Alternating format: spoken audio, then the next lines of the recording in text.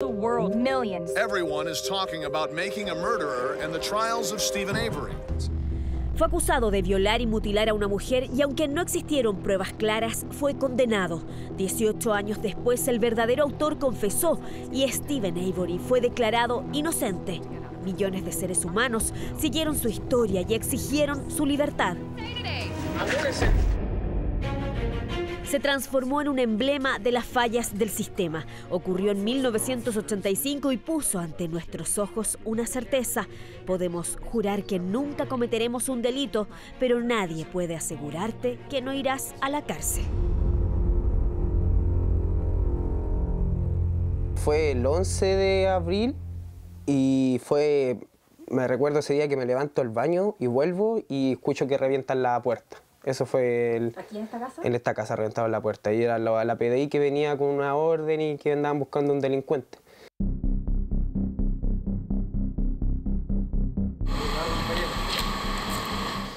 Un robo en lugar habitado. Eso. Y entre comillas yo era supuestamente el que llevaba la pistola que apuntó a la persona que me reconoció que tenía pelo castaño y piel clara y todo eso.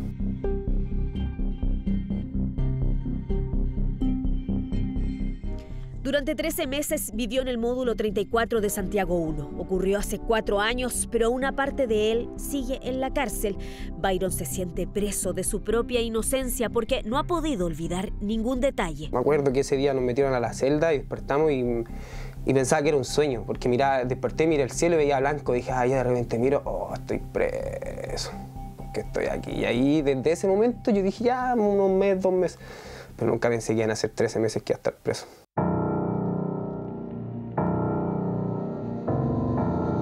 Una condena por error bajo una práctica que los especialistas señalan con preocupación, mostrar a los testigos como una forma de inducirlos fotos de los presuntos delincuentes sin ningún tipo de control o garantía. Aquí la fotografía la sacaron desde el perfil de Facebook de otro imputado del mismo robo y que finalmente también terminó sobreseído por inocencia. No solo eso, ambos tenían en la fotografía seis años menos. No se puede utilizar la fotografía de una persona con ese periodo de diferencia y más aún utilizando una fotografía de esa persona cuando era niño para imputarle supuestamente un delito que comete cuando es adulto. Pero fue el reconocimiento que fue suficiente para el Ministerio Público y que fue suficiente para los tribunales, para el tribunal, para decretar la prisión preventiva de Byron Flores y mantenerla esta en el tiempo.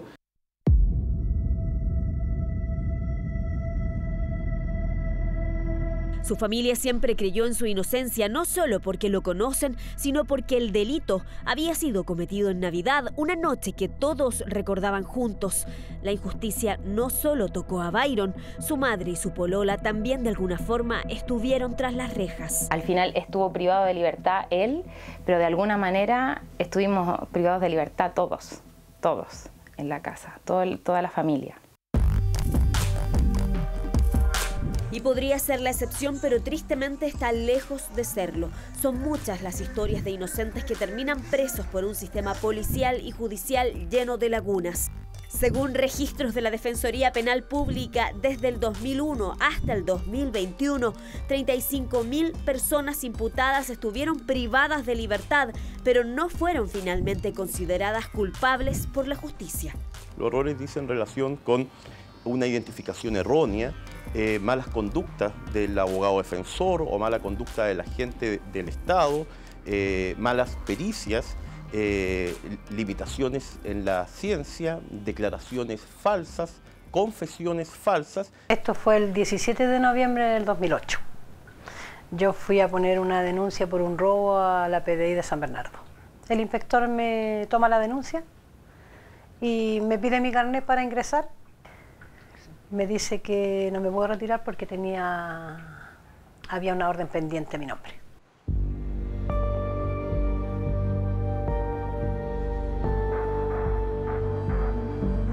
Yo me largué a reír y le pregunté por qué. Y él me dijo que por receptación. Yo en ese tiempo no sabía lo que era receptación. Esa tarde Felicinda no estaba sola. Su hija de 17 y su hijo de 7 años la acompañaron a lo que sería un trámite corto. De un segundo a otro fue esposada y enviada a un calabozo.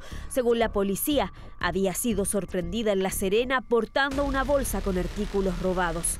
Felicinda ni siquiera conocía esa ciudad, pero de nada sirvió explicarlo.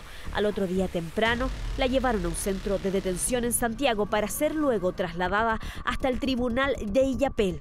Le dije, yo no, yo no he sido, yo nunca, nunca he andado en eso, yo no conozco eso, yo no tengo antecedentes, nada. Yo le dije, yo tengo una hermana, incluso le di el nombre, todo. Tengo... Es que, es que, ¿qué pasa? Que en el 2001 ella cayó detenida y ella en la cárcel de mujeres se puso mi nombre. Y eso era lo que había pasado. Su hermana había entregado su nombre cientos de veces usurpando su identidad y cuando fue detenida en La Serena, a nadie se le ocurrió corroborar los datos pidiéndole su cédula de identidad. Ese error le costó caro a Felicinda. En todo momento me identifiqué con el nombre de mi hermana, todo esto con el propósito de no irme a la cárcel, ya que tengo antecedentes. Ahora me siento arrepentida de esto, por todo lo que sufrió y vivió mi hermana. El juez dice que era condenada a 30 días de presidio más un año sin cargos públicos. Y que se entrega la libertad y no sé, no sé cuántas cosas Salió del tribunal y recién ahí notó que habían pasado tres días que estaba con la misma ropa, sin un peso y en una región que no conocía. Consiguió llamar a Santiago, pedir plata y la abogada defensora tuvo que llevarla al terminal. Felicinda en tres días cambió para siempre y para mal. Me vine todo el camino llorando, pensando. Sabía que un papel de antecedente eh, no estaba limpio, no estaba limpio, no podía trabajar, no, aparte que estaba sola, no podía trabajar. Tenía mis dos hijos,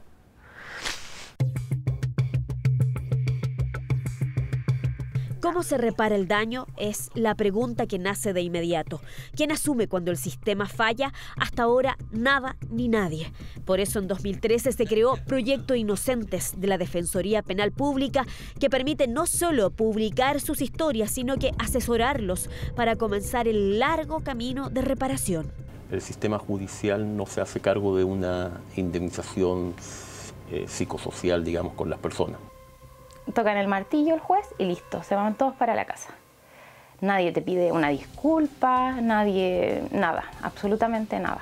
El Estado en estos casos debería hacerse cargo de alguna manera, porque la equivocación es por parte de ellos. Creo que, por ejemplo, tú o yo me mando un, un en la pega, creo que tendríamos que tener una sanción o te va a retar el jefe o algo. Aquí nada, aquí se mandó la embarrada nomás y ahí que hoy andate para la casa y el que pagó todo fui yo al final, mi familia el abogado, el tema de la plata, plata, pero inmensa se gastó en ese tema. Entonces algo que tú perdiste nomás. Y el procedimiento está lejos de ser breve. Antes de poder iniciar la demanda civil en contra del Estado, hay que acudir a la Corte Suprema. Es el máximo tribunal, el único que puede calificar la resolución judicial como injustificadamente errónea o arbitraria. Las exigencias son tantas que en los últimos 40 años se han presentado solo 160 solicitudes, es decir, apenas dos de cada mil personas que pasan por esta situación recurren a la justicia para ser indemnizados. En casi 100 años de vigencia esta cláusula constitucional, solo en 10 casos se ha dado la posibilidad a que una persona luego pueda presentar una demanda ante un tribunal civil para obtener indemnización. Felicinda demoró casi 10 años en la lucha por ese derecho. En la demanda pidió una indemnización de unos 100 millones de pesos, solo le pagaron 40. Y aunque hubiese sido todo, insiste en que no es plata lo que repara el daño.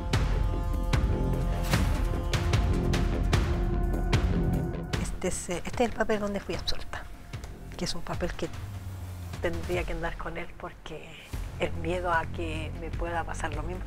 Vivo con el miedo, voy a vivir yo creo toda mi vida con eso. Byron había decidido no hacer nada, así de gigante es la rabia y el triste recuerdo de más de un año en la cárcel. No quería saber nada más de abogados ni tribunales, pero su familia lo convenció. Alguien debe hacerse cargo y si la única forma es económica, que así sea. La cárcel es para el pobre, no es para el millonario. Entonces, eso como que me, da rabia, me enferma saber eso. Acordarme de eso y sentir y que lo viví, que nadie me lo contó a mí, lo viví. Yo creo que ni, ni una disculpa ni una reparación monetaria nos va, nos va a hacer cerrar alguna vez esta herida.